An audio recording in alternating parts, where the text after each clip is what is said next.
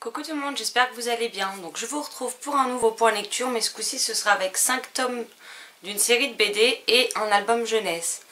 Euh, Marion, si tu passes par là, j'ai bien vu ton commentaire concernant le marque-page, sauf que je sais pas du tout duquel tu parles. Donc au pire, euh, dis-moi, je te le montrerai de plus près si, tu veux, parce que du coup, euh, je sais pas trop lequel c'est, donc voilà. Donc, on va commencer ce point lecture avec Le chat qui avait peur des ombres de Rosen et Xavier Colette aux éditions Micmac.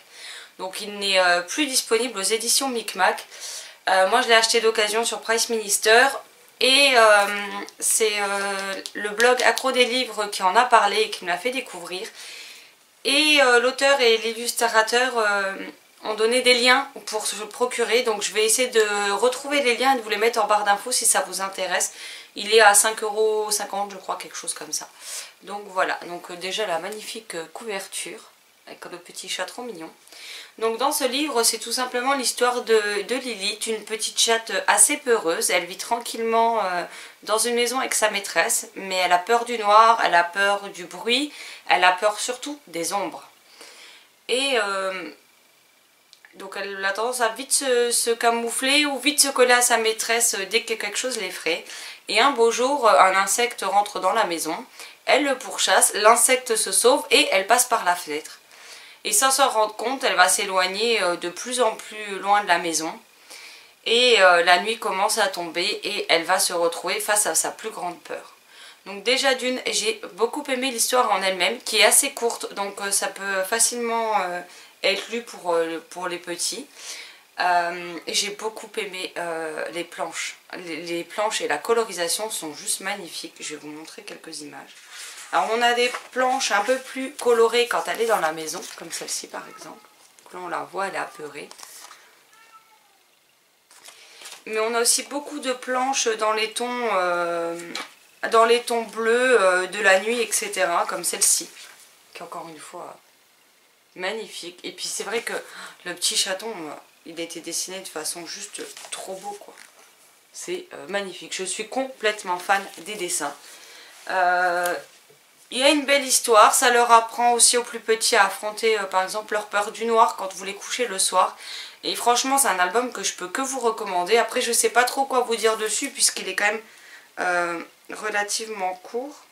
Il n'y a pas le nombre de pages. Hein. Mais euh, vous voyez par exemple euh, la taille du texte c'est comme ça à peu près sur chaque page. Mais en tout cas c'est une magnifique histoire et j'ai vraiment pris plaisir à la découvrir et euh, c'est un livre que je ne me séparerai pas. Il va rejoindre mes étagères et je suis bien contente de me l'être procuré. Donc voilà. Et la série de manga, de manga, bien sûr, de BD que je vais vous présenter, il s'agit de Amulette, 2. Alors c'est publié chez Akileos et c'est de... Je sais plus. Alors avec mon super accent ça promet. De Kazu Kibuishi. Voilà. Donc on a le livre 1, Le gardien de la pierre. Je vais pas tous les tenir. Hein. Le livre 2, La malédiction du gardien de la pierre. Le livre 3, Les chercheurs de nuages. Le livre 4, Le dernier conseil. Le livre 5, Le prince des elfes. Alors si les images de couverture sont pas ce qu'il y a de plus joli, par contre une fois à l'intérieur, franchement, euh, j'étais ravie. Donc de ce que j'ai vu, il y a 7 tomes dans cette série.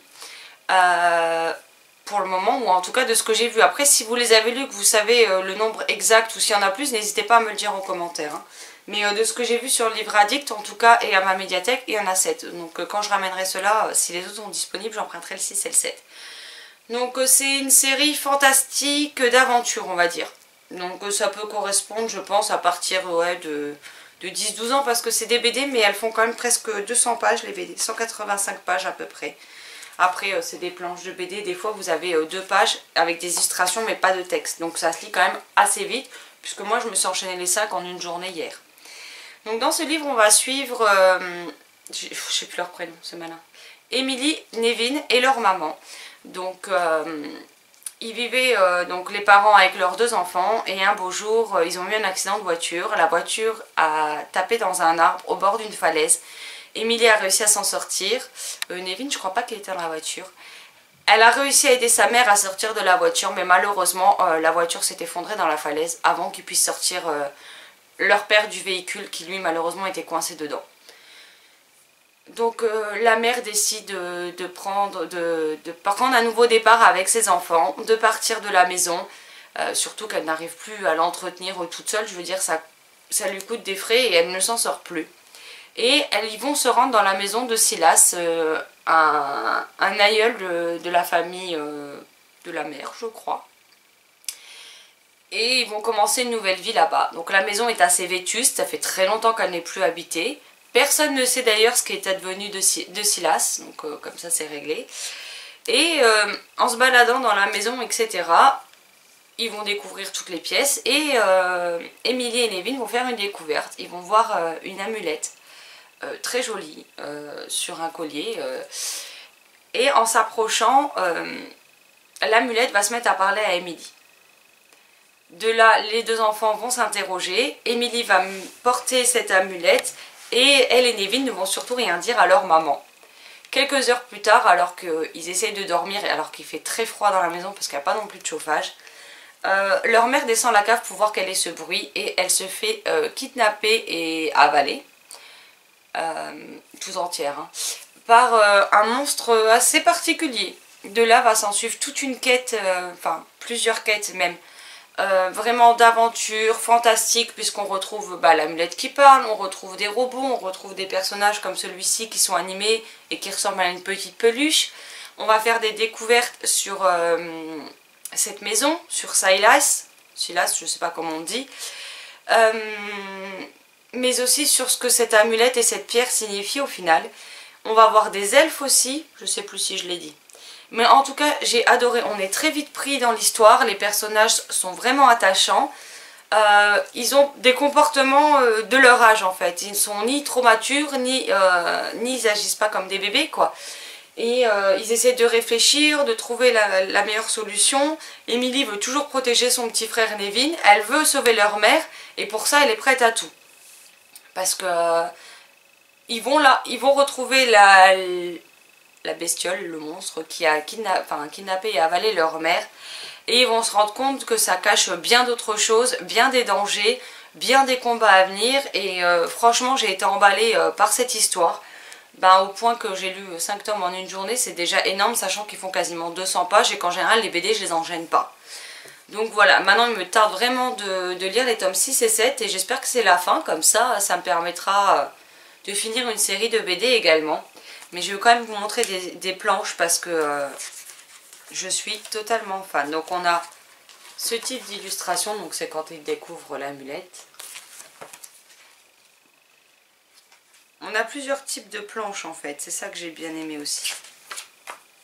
Quand c'est dans les tons un peu plus sombres.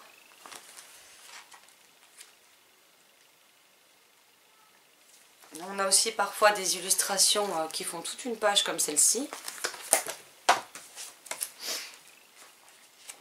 On a vraiment de, des, franchement des magnifiques illustrations. Euh, j'aime beaucoup les illustrations qui sont comme ça sur une page.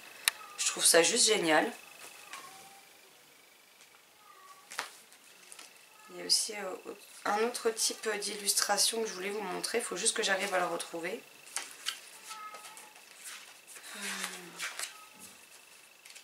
on a accès à ce genre de planche quand euh, vous avez même des doubles pages illustrées. Le choix des couleurs est juste euh, parfait en fait. Voilà. Et on a aussi des passages un peu plus particuliers quand euh, la, pierre communique avec Emilie entre autres comme ceci. Donc vous, voyez que c'est différent parce que tout le contour des, planches sont noirs. Mais en tout cas j'ai beaucoup aimé. Euh, c'est des BD qui coûtent euh, à la base 13 euros. Donc je trouve que pour quasiment 200 euh, pages c'est largement correct. Quand vous voyez qu'il y a des BD de 48 ou 60 pages qui vous coûtent 18 balles. C'est d'ailleurs pour ça que je les emprunte et que je ne les achète pas. Parce que je trouve que c'est quand même beaucoup d'argent pour le peu de temps de lecture qu'on passe dessus. Tandis que là c'est une série que j'aurais très bien pu acheter... et je vais voir d'ailleurs si j'ai moyen de me les trouver d'occasion parce que j'aime vraiment beaucoup cette série. Donc voilà, si vous les trouvez, n'hésitez pas à découvrir le premier tome. À l'emprunter ou si vous le trouvez d'occasion vraiment pas cher parce que c'est vraiment une série de BD dont je n'ai jamais entendu parler et pour qui pourtant vaut bien le coup. Euh, l'univers est original, l'histoire elle a ce qu'il faut euh, de rebondissement, de temps un peu plus calme. On, on a ces moments où Emily et Nevin découvrent l'univers, où ils appréhendent certaines choses qui vont en découler. On voit aussi que les adultes sont présents et euh, font leur rôle d'adulte. Après, par moments, ils se mettent un peu en retrait parce qu'ils n'ont pas le choix, mais ils sont là. C'est pas juste des enfants qui vont avoir des, je sais pas moi, des super pouvoirs et qui vont euh, tout détruire et les, adultes ne sont pas présents. Non, là, c'est pas du tout le cas. Les adultes sont bel et bien présents et c'est aussi une chose que j'ai euh, drôlement appréciée. Donc voilà, j'arrête de blablater pour rien dire.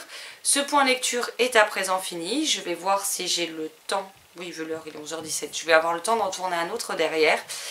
Donc en attendant, moi je vous souhaite une excellente journée, de très belles lectures et je vous dis à très vite pour une prochaine vidéo. Ciao ciao